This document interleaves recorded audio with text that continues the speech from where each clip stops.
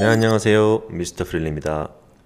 이번 시간에는 또 material 계속해서 한번 어, 트레이닝을 해볼 겁니다. 자, 이렇게 씬을 준비를 했어요. 모델링은 지금 보시면 이렇게 floor라고 해서 스튜디오 씬으로 설정을 했고요. bend를 활용해서 그 다음에 bottle 이렇게 있고요. 그 다음에 flower. flower가 이제 이렇게 꽃잎과 줄기, stem, flower 이런 식으로 돼 있고 어, 그 다음에 stem ball light라고 해서 여기다가 이렇게 제가 어, 볼을 하나씩 끼워놨어요. 이런 식으로. 그래서 MoGraph 가지고 사용을 한 거고요. 간단하게 light는 top light에다가만 이렇게 sector light를 설정을 해줬습니다. 그래서 sector light를 보시면 이런 식으로 설정이 되어 있고요. 이렇게 값이 들어갔죠. 앵글, radius, intensity만 조절을 했어요.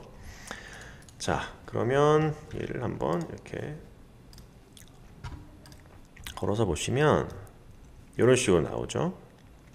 음. 자, 그러면 이제 material을 한번 적용을 시켜봐야 되겠죠. material은 코로나에서 만드시고요. 이렇게 각각의 object에 맞게끔 floor면은 floor라고 이렇게 이름을 지어주시는 거. 이게 나중에 search하기도 굉장히 어, 편해요. 자, 그러면 저는 이렇게 해서 이거를 조금 어두운 blue 톤으로 이렇게 설정을 해 볼게요. 그 다음에 또 new material 이번에는 bottle이라고 해서 지금 제가 After Effect에서 렌더링을 좀 하나 걸고 있어 가지고 어, 굉장히 시스템이 좀 많이 delay가 있어요. 그러면 이렇게 bottle에다가 넣고 음, 그런 부분 조금 참고하셔가지고 보시면 좋겠습니다. diffuse 같은 경우는 음, 제가 이런 식으로 값을 줄게요. reflection도 좀 줄 거고요. glossiness에 0.8 정도 넣고 refraction 값을 줄 겁니다. 그래서 90 정도로 설정을 해 주실 거고요. 얘도 보시면은 이렇게 지금 투명한 이미지가 나오죠. 그러면 얘도 컬러 값을 제가 조금 올려 볼게요. 이런 식으로 설정이 되겠죠.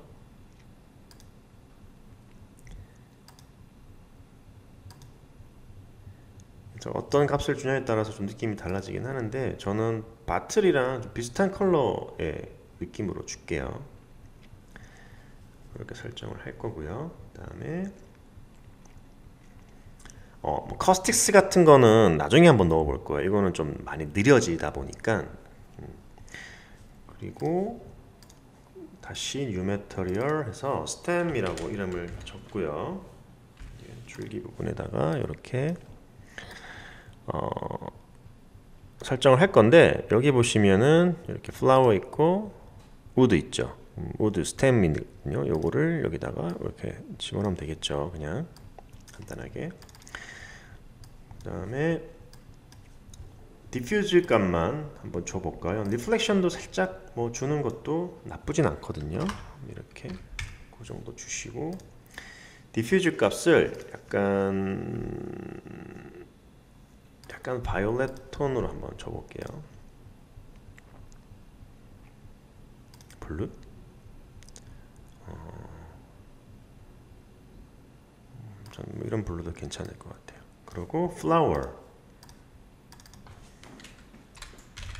이름 적어주시고 flower에다가 주시고 여기 보시면은 flower 있죠. 그럼 material select flower set selection 태그를 selection 링크 시켜주시고 그 다음에 flower 컬러도 한번 보겠습니다. 이거는 제가 음, 어, 리플렉션 값을 좀 줄 거고요. glossiness 값도 0.8 정도로 주시고 volumetrics를 한번 넣어 볼게요. 우리 배웠던 거 SSS 그래서 값을 최대치로 넣어 주시고 radius를 넣어 보겠습니다. 이런 느낌의 지금 그죠? 컬러가 들어가죠. 이것도 약간 이런 식으로 적을까요?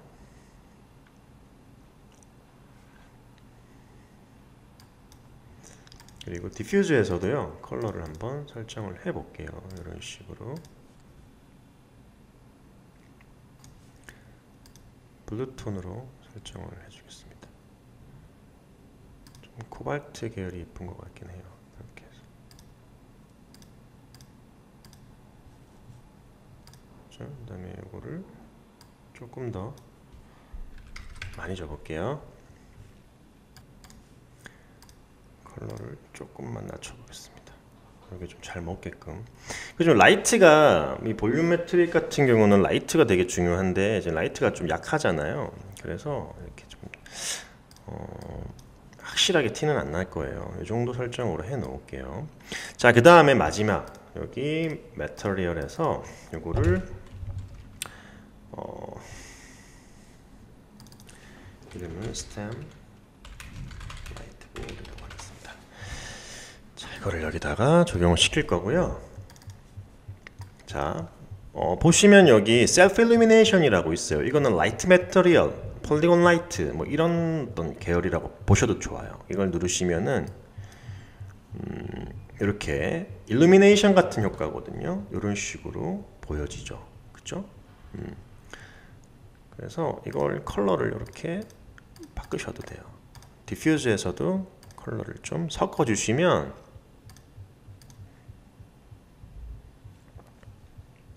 이렇게 재밌는 컬러가 나옵니다. 약간 오묘하게 나와요. 컬러들이 이런 식으로 여기에 밝기를 제가 올릴 수가 있거든요. 이런 식으로 그러면은 뭐 우리 배웠던 거를 좀씩 써먹어 보는 거죠. 카메라 코로나 카메라를 해서 이렇게 태그해서 뭐였어요 우리? bloom and glare도 있었죠. vignette도 있었고 그죠? sharpening도 있었고 DOF도 있었잖아요. 그럼 이제 뭐 예를 들어서 어, bloom and glare를 이렇게 설정을 해볼까요? 이런 식으로 살짝 glowing 효과가 나오죠. 음. 재밌는 효과가 나옵니다. 그때 말씀드렸지만은 일단 이 self illumination 같이 polygon light는 렌더링 타임이 오래 걸리거든요. 그래서 그거 감안하셔야 되고요. render time의 딜레이가 굉장히 어, 큽니다. 이렇게 설정하시고 자, 뭐 light material을 보여드리려고 했던 것도 있지만 재밌는 옵션을 하나 설명을 해드리려고요. advanced라는 게 있습니다. 여기서 사실은 material의 모든 것을 어, 설정한다고 보셔도 좋아요. 이제 local axis라는 거 있죠. UVW axis가 UVW가 있고 local axis가 있는데 어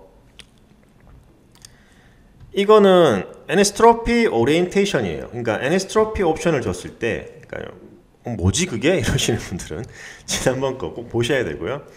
여기 보시면 이제 anisotropic이라고 있죠. 이게 뭐냐면 헤어라인 재질 만드는 거잖아요. 스텐 같은 거, 어, 스텐이나 뭐 메탈 어, 이런 거 스테인리스 같은 거 만들 때 쓰는 거 그거의 방향성을 전체적으로 잡아줄 때 이렇게 UVW 쪽으로 갈 거냐 local axis로 갈 거냐 이거예요 그래서 보통은 이제 local axis로 많이 넣기도 하고요 또 어떤 때는 UVW로 넣기도 합니다 그 다음에 여기 보시면 이제 visibility가 있죠 그래서 directly 하시면은 그냥 이렇게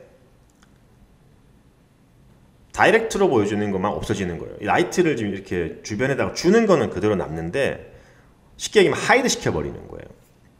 GI를 끄겠다.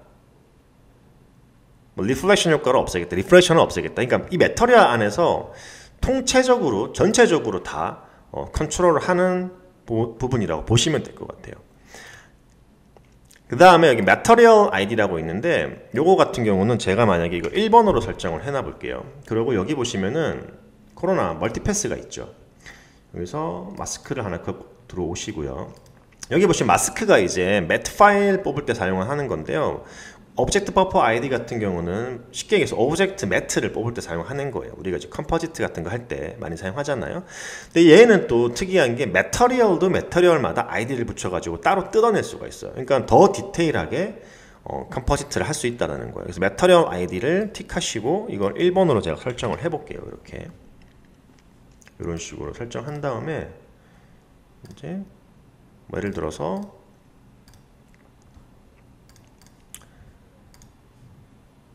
어디 갔나요? 아 여기 있죠. 다시 한번 렌더링을 걸어볼게요. 이렇게. 그럼 여기 alpha mask 생겼죠. 마스크 어떻게 돼 있어요? 이게 material ID 1번으로 뽑혀난 거예요. 이런 식으로 material만 따로 뽑을 수도 있고요. 이제 alpha mode겠죠. alpha mode를 뭐 블랙으로 줄 거냐, 뭐 화이트로 줄 거냐, 뭐 디폴트로 줄 거냐 이런 건데요. 이거는 사실은 그냥 뭐 원래 있던 어, 구조대로 하시면 돼요. alpha mode는 뭐 그게 상관없는 부분이기 때문에. 그 다음에 physically based render 같은 경우는 이거를 이제 어, PBR로 render를 할 거냐, 아니면은 그냥 일반적인 render로 할 거냐 이건데 뭐 우리 지금 PBR 쓰고 있기 때문에 이걸 꼭 untick할 필요는 없습니다. 그냥 계속 tick돼 있는 상태를 어, 유지를 시켜 주시면 될 것 같아요. 자 이렇게 해서 advanced까지 알아봤고요. 어, 사실 뭐 다 했어요. displacement도 할 거고 뭐 그죠? 그래서 여러분들이 보시면서 어, 내가 좀 더 디테일하게 표현을 하고 싶다, 더 다르게 표현하고 싶다 하시는 분들은 이런 식으로 좀 여러분들이 설정 값을 바꿔가면서 한번 해보시는 것도 제가 어, 추천을 드립니다. 자, 그러면 뭐 오늘 수업은 여기까지 하고 다음 시간에 또 뵙도록 하겠습니다. 좋아요, 구독, 알람 설정 부탁드리겠습니다. 수고하셨습니다.